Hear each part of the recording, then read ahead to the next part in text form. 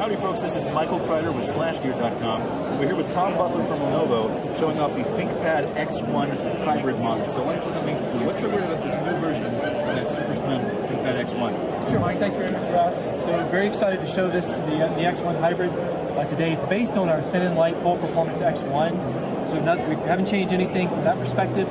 What we've added though is a is a a system within a system. So it's based on the Qualcomm Snapdragon 8060 processor. It has 16 gig of onboard memory and that's, that's separate from everything else in the laptop. Separate from everything else in the laptop, exactly. So it operates as a system on a chip within the system.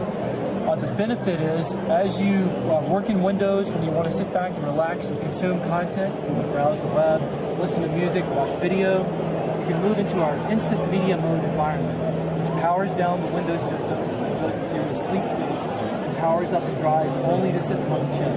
The big, big benefit is it doubles your battery life. So it goes up from about 10 hours to 20 hours? Yeah, so exactly. So if I take my base system of uh, a little over five hours, I can get to 10 hours. I add a slice battery to the X1, I go from 10 hours to 20 hours. Now, can you show us the media mode? Absolutely. So one of the exciting features is, is we, we're really going to move from Windows to the instant media mode environment. So I'm going to click in, and what I want you to see is how fast it, it transitions from the from Windows environment to instant media mode. So here we go starting to sink in. It's going to sleep, put in uh, Windows to sleep, and now we're into, into instant media mode. This is better than like all the pre-boot environment stuff we've been seeing because you can switch back and forth at any time. Absolutely. So the beauty of it is, is you, you, exactly as you point out, you move from Windows to instant media mode and back.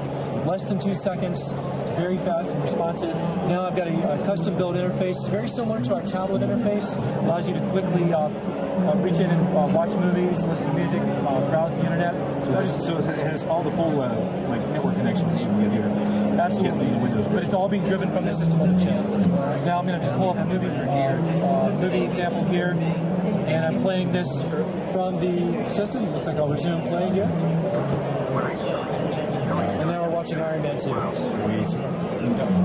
Uh, is there anything else you'd like to tell us about this one? So again, the big benefit is the, the double the battery life and the fast switching. I'm going to demonstrate exit instant media mode now. I'm going to go back in and again, watch how fast it switches as it powers back up Windows and we're back. All right, Tom, can you give us some pricing and availability information? Sure, so it's going to be available in Q2, starting price of $15.99. Uh, well, this has been a great demonstration. Thank you very much. This is Tom Butler from Lenovo, and I'm Michael Kreider for SlashGear.com. Thanks, thanks very much.